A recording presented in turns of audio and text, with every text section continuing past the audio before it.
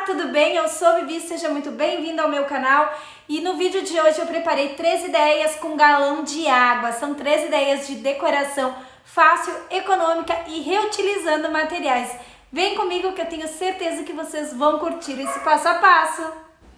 Para a primeira ideia, vou usar um galão de água de 5 litros. Corto com a tesoura a altura desejada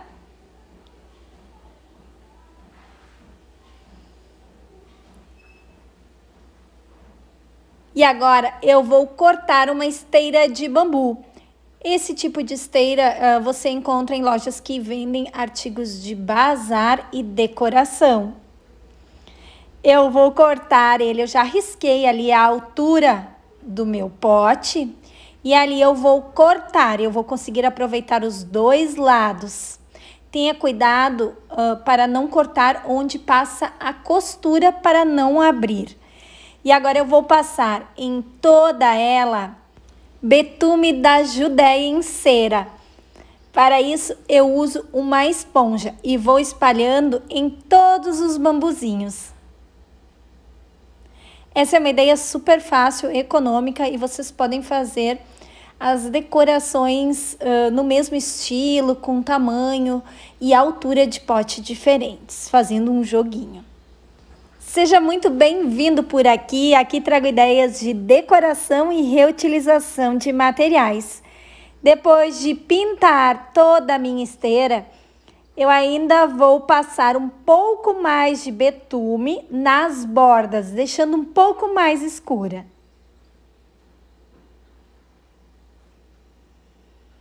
Você pode optar também pelo betume Colors da Acrylex e pode aplicar da mesma forma que eu apliquei esse. Olha só que lindo que já está.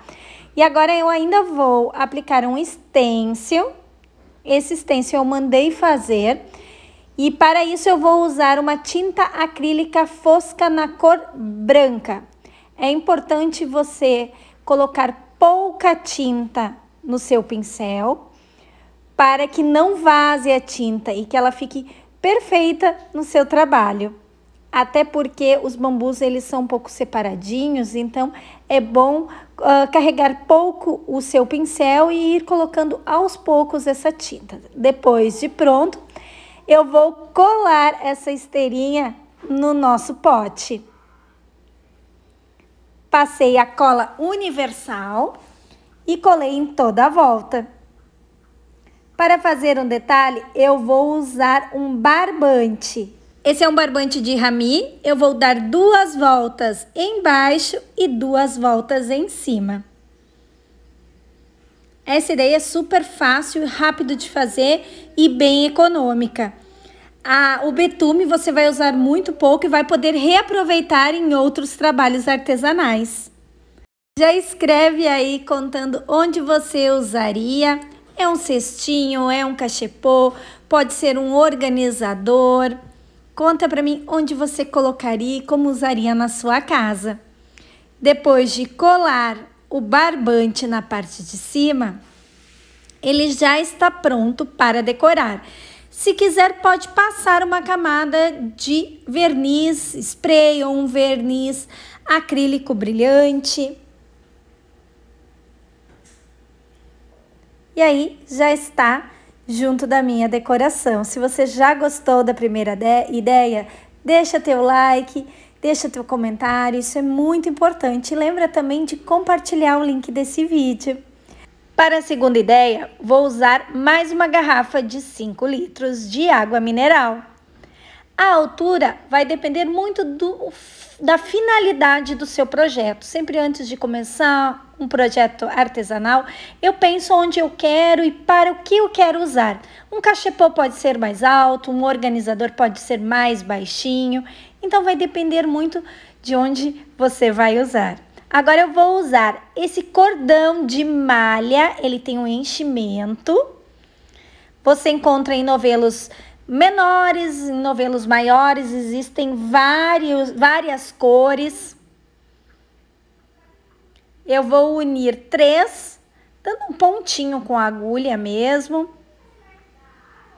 E vou trançar ele. Faço uma trança bem longa para cobrir todo o meu pote. Você pode substituir, claro, esse material por um fio de malha, por uma juta, enfim, uma outra corda, um outro barbante que você tenha encontrar aí na sua cidade. Essa aí é uma ideia bem diferente, vocês vão ver que o resultado é surpreendente e o trabalho fica bem delicado. E ele é muito simples, ele até lembra muito os trabalhos uh, feitos com crochê e na verdade a gente só precisa fazer uma trança. Assim que finalizo a minha trança, eu vou começar a enrolar ela no meu pote. Aí estou mostrando ele pronto. Mas antes disso, eu vou colar um tecidinho. Inicio passando cola na borda externa, em torno de um centímetro, e colo um tecidinho de algodão que combina com a minha, a, a minha trança, né? O trabalho que eu vou fazer. Então, eu colo aí no lado de fora.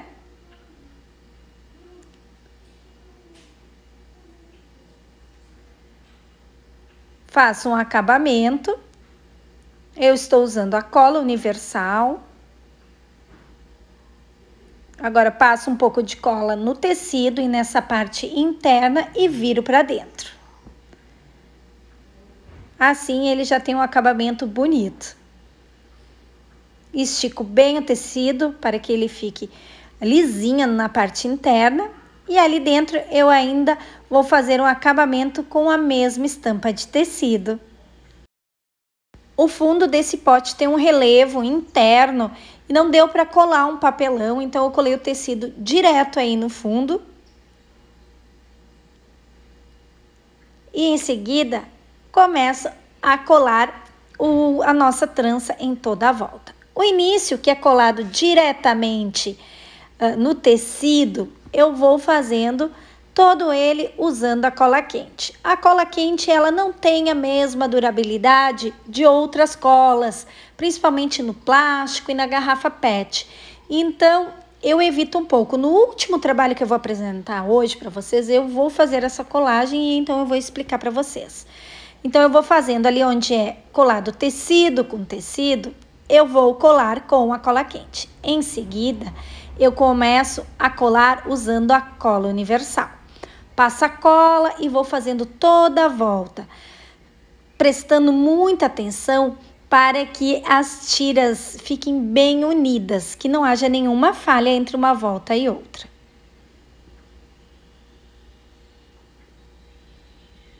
Essa é uma ideia bem legal para aquele bebê que acaba de chegar na família, cestinhos para colocar fraldinhas, kits de higiene, porque é um trabalho super delicado e fofo. Ah, Vivi, esse cordão de malha, ele é caro, é difícil, mas ele tem um valor a mais pelo resultado final. Então, é aquela questão de optar, né? Você vai ter que cobrar mais, sim, por um trabalho desse, se você for vender, mas ele tem a sua beleza, a sua personalidade. E como eu já falei antes, vocês podem substituir por malha, que vai ficar super bonito também. Agora, para combinar, eu vou cortar uma etiquetinha de couro. Esse é um couro sintético. Eu vou fazer uma tagzinha. Eu tô fazendo um detalhe aí com uma caneta de tecido da Acrylex, fazendo uns pontinhos e eu fiz um furinho ali com furador de coração para fazer um detalhe a mais. Bem aí onde eu fiz aquela emenda que ficou mais altinho, ali eu vou colar essa etiqueta para fazer um acabamento. Para o fundo, você pode usar o mesmo tecido, como eu não tinha mais, eu resolvi colar no fundo uma tira de couro sintético exatamente igual a que eu fiz a tagzinha. Então, eu cortei um círculo, passei a cola e encaixei aí por dentro e ficou super bonito também. Diz para mim se esse trabalho não ficou lindo e não dá para dizer que nós usamos uma garrafa PET como base, não é mesmo? Escreve para mim nos comentários depois qual das três ideias você gostou mais e lembra de deixar sugestões para os próximos vídeos. Eu adoro fazer detalhes nos meus trabalhos e esse aí ficou muito fofo.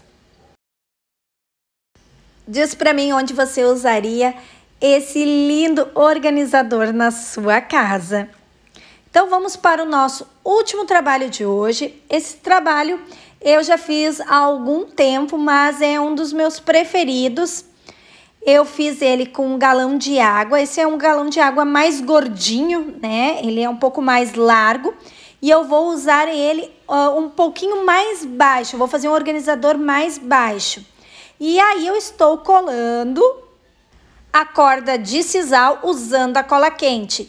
Eu já fiz esse trabalho há quase um ano e não descolou, tá, gente? Então, às vezes, tem muita relação com a qualidade da cola.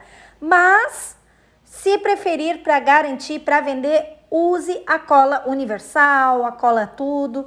A cola quente, ela nem sempre ela vai te trazer um, um resultado de excelência. Ele, ele tem a praticidade, né? Eu adoro a cola quente, acho que foi uma das melhores invenções, foi a cola quente. Então, depois de enrolar todo o cordão em volta do meu pote,